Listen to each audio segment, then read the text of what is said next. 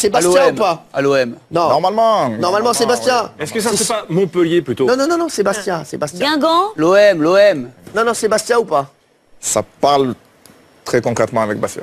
D'accord, très bien. Donc, euh, on, on a signé ou pas Pas encore. J'aimerais bien être mis au courant. D'accord Bien sûr, je suis un jeune joueur, j'ai encore beaucoup à, beaucoup à apprendre. J'ai pas beaucoup de matchs en Ligue 1, mais euh, voilà, une fois qu'on est sur le terrain et, et qu'on joue au niveau, ben l'âge, on le regarde plus. Il faut assumer une fois qu'on est sur le terrain.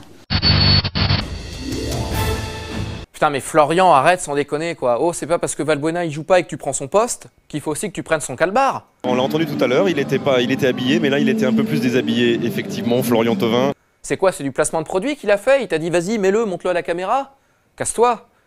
Bon, par contre, rassure-moi, Florian, tu nous fais pas le coup du sac à dos, hein.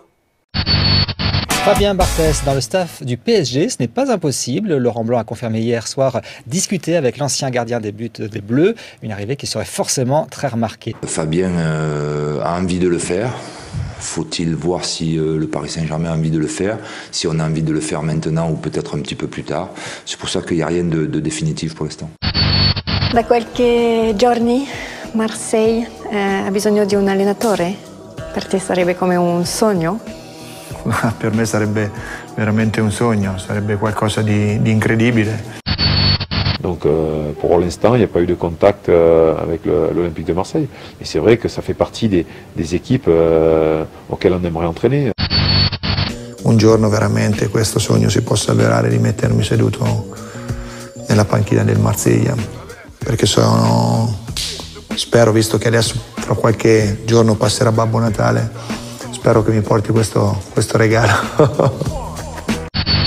Donc c'est vrai que c'est un club qui, qui fait rêver. Euh, Maintenant, euh, voilà, moi euh, j'attends le coup de téléphone. hein. Je- je- je- on verra bien hein. si, euh, si mon téléphone sonne. Vous savez, il est pas loin. Bon, à part que là il est éteint, mais euh, sinon, euh, si j'ai en train de me téléphoner, mais sinon, euh, sinon on verra bien. hein. Je veux dire, on verra bien.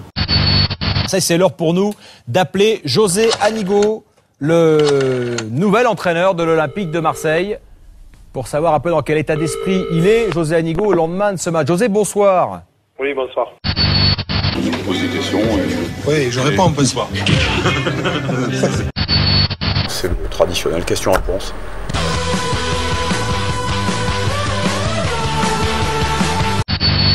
Peut-être qu'un jour, il va trouver euh, l'entraîneur qui lui plaît, qui lui convient.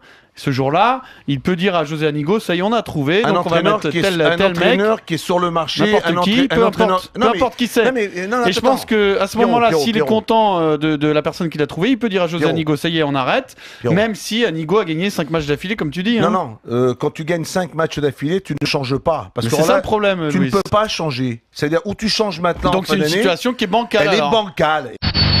Le cadre du vestiaire pris la parole même pour remettre les choses à, à l'endroit. Ce qui est dans le vestiaire euh, doit rester dans le vestiaire, sinon on vous inviterait. Alexis, Mais quoi. Ah, Voilà, avec Cassim. Cassim. Oh, comment, bien sûr. Cassim, Voilà, Cassim, vas-y. Voilà, les deux. Merci. Donne-moi le micro, je prends le micro. Oh, merci. Pose des questions. Alexis Romao pour Maritime. Non, vas-y, vas-y, non. Non, non, c'est moi, je suis ça, journaliste. Euh, Allez, Alexis, la, la première question pour Cassim. Voilà. euh, Donc, euh, Kassim Abdallah, que vous avez pensé du match euh, de ce soir? Non, fais sérieux, gros, sérieux. Je joue mal.